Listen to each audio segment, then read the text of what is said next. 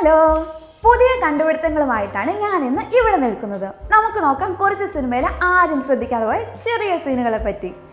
ഇന്ന് ഞാൻ ആദ്യമായി പറയാൻ പോകുന്നത് രാജമാണിക്യം എന്ന സിനിമ കാണാത്തവരായി ആരും തന്നെ ഇല്ല അല്ലേ? അതിൽ അവസാനം വില്ലിനെ കൊല്ലാനായി ചുമല പൊന്നാട് ഒടിപ്പിച്ച് കാളെ വിട്ടു കൊല്ലുന്ന ഒരു സീനുണ്ട്.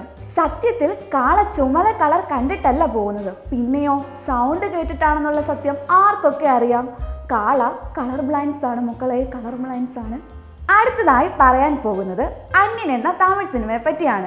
അമ്പി എന്ന കഥാപാത്രത്തെ അറിയാത്തവരായി തന്നെ ആരുമില്ല. ഭയങ്കര നിഷ്കളങ്കനാണ് ലോലനാണ് ഒരു പയ്യൻ. നിയമലംഘനത്തെ ഒട്ടും ഇഷ്ടമില്ലാത്ത ഒരാളും കൂടിയാണ് അമ്പി. ട്രാഫിക് റൂൾസ് എല്ലാം പറഞ്ഞു പഠിപ്പിക്കുന്നുണ്ട്. അങ്ങനെയുള്ള ഒരാൾ സിനിമയിൽ ഉടനീളം വണ്ടി ഓടിക്കുമ്പോൾ ഹെൽമെറ്റ് വെക്കാൻ മറന്നുപോകും.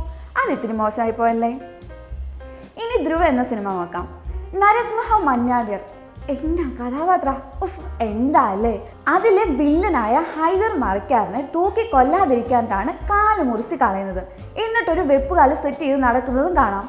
അവസാനം തൂക്കി കൊല്ലുന്ന സമയത്ത് രണ്ട് കാലും ഇട്ട് അടിക്കുന്നത് കാണാം. അത് കണ്ട വെപ്പുകാലെന്ന ഒറ്റ നോക്കി തന്നെ നമുക്ക് തിരിച്ചറിയാം കേട്ടോ. ഉപ്പോളം വരില്ലല്ലോ ഉപ്പിലിട്ടത്. ഇനി മീശമാധവൻ. ഇനി ആ സിനിമയെ പറ്റി പറയുമ്പോൾ നമുക്ക് ആ സിനിമയിലെ ഒട്ടുനീള സീനുകൾ കാണാപ്പാടാണ് അല്ലേ? പിള്ളേഴ്സിനെ കണി കാണിക്കുന്ന ഒരു സീനുണ്ട് ഓർമ്മയുണ്ടോ? അത് കഴിഞ്ഞ് അവർ റേഷൻ കടയിൽ വെച്ച് ചർച്ച നടത്തുന്നതും നമുക്കറിയാം.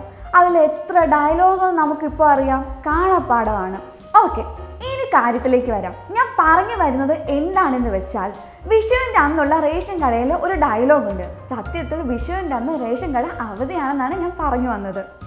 ഇനി തീവണ്ടി എന്ന സിനിമയിൽ പോലീസ് സ്റ്റേഷനിൽ വെച്ചുള്ള ഒരു സീനുണ്ട്. ബോർഡിൽ സെക്കൻഡ് ഷോ എന്ന സിനിമയിലെ കഥാപാത്രങ്ങളായ ലാലുവിന്റെയും കുരുടിന്റെയും ഫോട്ടോ കാണിക്കുന്നുണ്ട്. നിങ്ങൾ അത് ശ്രദ്ധിച്ചായിരുന്നോ? ഇനി സീരിയസ് ആയിട്ടൊരു കാര്യം പറയാം. സി ഐ ഡി മൂസ എന്ന സിനിമ എത്ര വട്ടം കണ്ടാലും മടുപ്പ് വരാത്തൊരു പടമാണ്. അത് ശരിക്കും ആറ് മണിക്കൂറുണ്ടെന്ന കാര്യം നിങ്ങൾക്കറിയാമായിരുന്നോ? അത്രയും മണിക്കൂറുള്ള സിനിമയാണ് നമ്മൾ രണ്ട് മണിക്കൂർ നാൽപ്പത് മിനിറ്റ് ഇരുന്ന് കാണുന്നത്. രണ്ട് മണിക്കൂറുള്ളത് തന്നെ ഗംഭീരമാണെങ്കിൽ ആറ് മണിക്കൂറുള്ളത് എങ്ങനെ ഉണ്ടായിരിക്കും? നമ്മളൊക്കെ മാർവൽ സിനിമകളിൽ ഒന്നെങ്കിലും കാണാത്തവരുണ്ടോ. ഇല്ല. അത് സ്പൈഡർമാൻ ഹോം കമ്മിങ്ങിൽ പീറ്റർ ഇട്ടിരിക്കുന്ന ഡ്രസ്സാണ് അയൺമാൻ ത്രീയിൽ പെപ്പർ ഇട്ടിരിക്കുന്നത്. അടുത്തത്. സതയം എന്ന സിനിമയിൽ ഉഷ്ണകാലമായതുകൊണ്ട് പറ്റുവട്ടം പോലീസുകാരൻ പറയുന്നുണ്ട്. ഉഷ്ണകാലം ആണെന്ന് സൂചിപ്പിക്കാൻ പുറകിലത്തെ ഓടിൽ നിന്നും മഴവെള്ളം വീഴുന്നതും കാണാം. ഇനി ഞാൻ നിങ്ങളുടെ അറിവിലേക്ക് ഒരു കാര്യം പറഞ്ഞു തരാം. ഭീഷ്മപർവം എന്ന സിനിമ മഹാഭാരതത്തിലെ പതിനെട്ട് പർവത്തെ ആറാമത്തെ പർവത്തെ പറ്റിയാണ് പറഞ്ഞിട്ടുള്ളത്. കുഞ്ഞിക്കുൻ എന്ന സിനിമയാണ് ഇനി അടുത്തത്. പ്രസാദിനോടൊപ്പം ലക്ഷ്മി ഒളിച്ചോടുന്ന ഒരു സീനുണ്ട്. പോകുന്ന വഴിക്ക് കൈയോടെ വാസവണ്ണ ലക്ഷ്മിയെ കാണും. അപ്പോൾ ചോദിക്കുന്നുണ്ട് ഈ പാതിരാത്രി എവിടെ പോകുവാണെന്ന്? എന്നാൽ ആ ചോദ്യം ചോദിക്കുന്നത് പട്ടാ പകലാണെന്ന് വ്യക്തമായി കാണുകയും ചെയ്യാം. ഇത് എഡിറ്റിങ്ങിൽ പറ്റിയൊരു തെറ്റാണ് കേട്ടോ.